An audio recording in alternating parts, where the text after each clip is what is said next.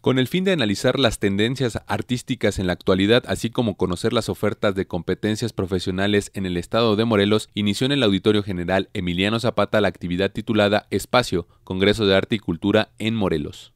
Esta actividad pretende ser un intercambio de propuestas mediante especialistas en las disciplinas de las letras, danza, música, artes visuales y plásticas, medios audiovisuales, teatro, diseño, arquitectura y fotografía. Es un proyecto organizado en conjunto entre la UAM a través de la Dirección de Difusión Cultural, la Facultad de Artes y el Arte Plástico Contemporáneo en Morelos.